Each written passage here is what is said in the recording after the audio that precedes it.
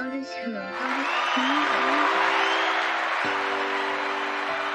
nobody, ain't, no, ain't, ain't, ain't, ain't nobody coming to see you, Otis.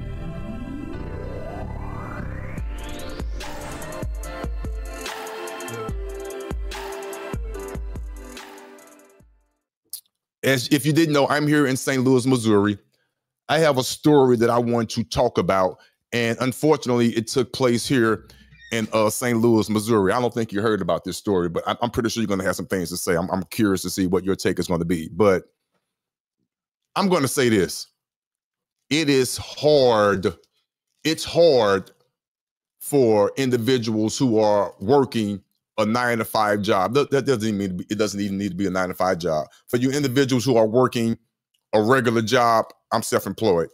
For you individuals who are working a regular job, I understand it is hard especially in a uh, a type of job where it involves retail or some type of I say uh high theft rate, high pilferage rate, like a Walmart or something like that.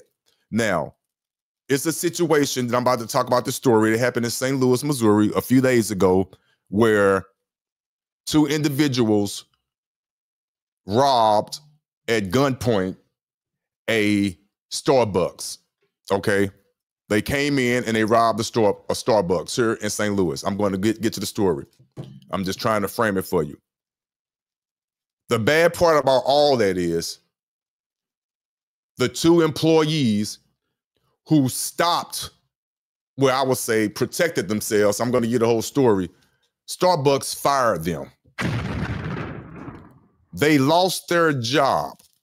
First of all, I'm going to tell you the whole story, but let me give you an example. If you are a security guard or a worker at Walmart or whatever, you're a cashier or you're that greeter at the door, and someone walks past you with a TV, two or three televisions in the basket in the buggy, and you know doggone well that they're not going to show you the receipt, which is a whole nother story. I don't show receipts either but they're just going to walk past you. Are you really going to put your life in jeopardy to stop that individual? Really?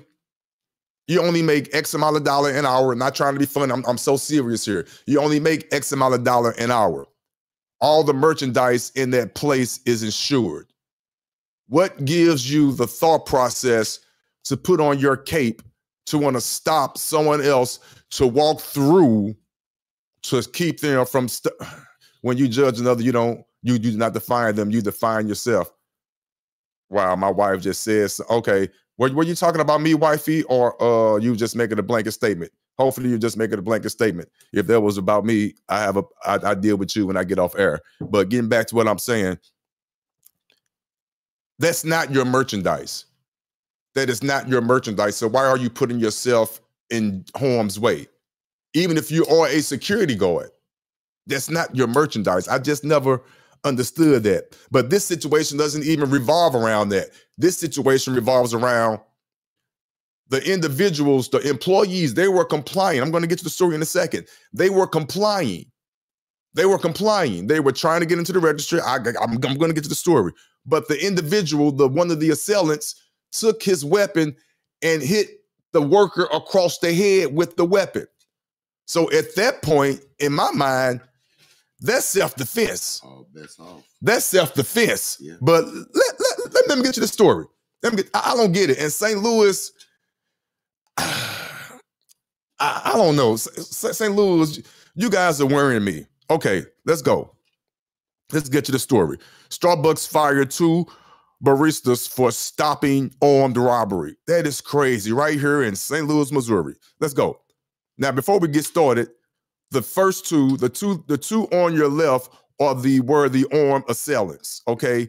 The young man on the right is the one that lost his job because he got hit across the head with a weapon. Just read it. Here we go. Starbucks fired two baristas who stopped an armed robbery at a downtown St. Louis location. The robbery took place last month. Oh, I thought it took sooner. I thought it took place sooner than that. The robbery took place last month that is notorious for crime and violence at around 12 noon, right in the doggone middle of the day. two masked gunmen barged their way into the Starbucks and ordered everyone to get on the ground. One of the gunmen approached 20 year old Michael Harrison at the cash register and ordered him to empty it. Unfortunately, Harrison did not have the credentials necessary to open the register on the spot. All you guys that used to work at a restaurant before, you know, or if you were a, a manager, the cash register has a key. You put it into the uh, the, uh, the, the, the the the key thing, obviously, and a certain key goes all the way to the right which will allow you to get the full reports and also allow the register to open. He's just a regular employee. The regular employee doesn't have that key. So, of course, he couldn't get there. Okay, let's go. He asked the manager who was on the ground per the robber's request to get up and help him open it. The manager was frozen with fear and did not get up, understandably so. The robber became impatient with Michael's inability to open a register, so he decided to pistol whip him. Michael's co-owner noticed that a piece of the gun. Now, here we go. Here we go. Michael's co-owner uh, noticed that a piece of the gun had broken off after the robber hit him with it. This alerted him that the possibility of the gun was being fake. Of course, the co-worker got off the ground and rushed the robbers with Michael's help. The barista tag team was able to fight the crooks off one of one one of the men, the person who hit Michael with the gun, was apprehended by police on the spot. The other fled. The, the, the other criminal fled, but was captured later at a different location. Now, okay, Michael and his lawyer maintained that this was simply a case of self-defense after the robber hit him with the with with, with after the robber hit him in the head with was thought to be a gun. Everything was done to comply with the robber's orders, but that did not prevent the assault from taking place. Everything after the assault was purely self preservation, not an attempt to become a hero specifically for Starbucks. Hey, whoa, now listen. Whoa, whoa, whoa. Starbucks, you out of order. St. Louis, oh, St. Louis, St. Louis, St. Louis, St. Louis. St. Louis is one of them liberal cities. Yes, I said it. You already know I'm going to say it. I am conservative. It is what it is. Probably the only one in my family. It, it is what it is. It is what it is. St. Louis is very conservative. Between St. Louis and Kansas City, which Kansas City and St. Louis is liberal, all the other space, if you look at the map of Missouri, you got Kansas City on the west you have St. Louis on the east, right? All that space in the middle, all that space in the middle is conservative, all red. But you got them two cities, St. Louis and Kansas City, blue, liberal. And you get these liberal laws. I'm sorry, I don't mean to turn it into that, but it is what it is because how else can you explain an individual who got hit in the head with a gun he realized it was fake. First of all, let me back up. He was complying. The policy is to comply. If the robber comes in, the alleged robber comes in with a weapon and he tells you to open up the register, you open it up and you give it to him. Comply. Comply, comply. That's fine. But once that assailant hits you across the head, and you have and you have the wherewithal to re- even if you wasn't a fake gun and it, and it was a real gun and you was trained enough and you was gutsy enough to try to get the weapon away from them and you did that's not grounds for losing your job that's self-defense you were struck with the weapon here's my question what's the policy far as Starbucks is, far as if you get hurt in the middle of a robbery and you just give up your body. What's the policy then? Is there like a payout involved? Is there some type of uh, built-in insurance that you can claim to get? I, am curious of that, which I already know the answer. I already know the answer, but hey, listen, I, I, I don't get it. Would you put your life on the line for a job that I mean, I mean, I, I don't get it. I don't get it.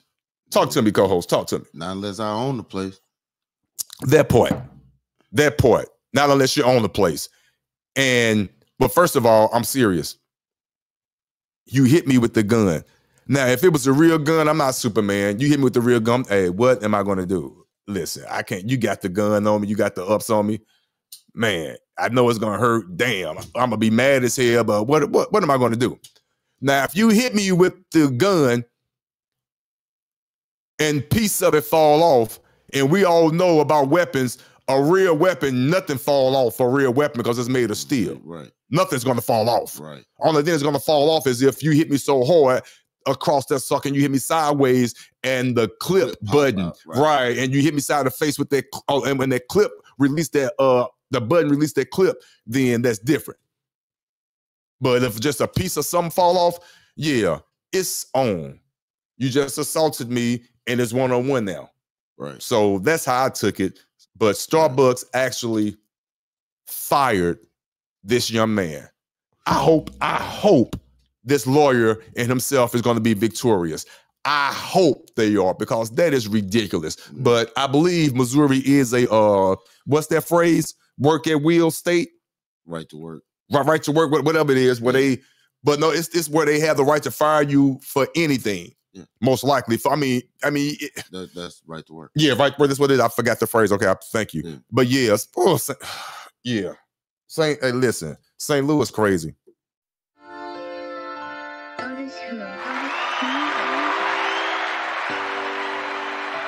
Ain't nobody, co- ain't no, ain't, ain't, ain't, ain't nobody coming to see you, Otis.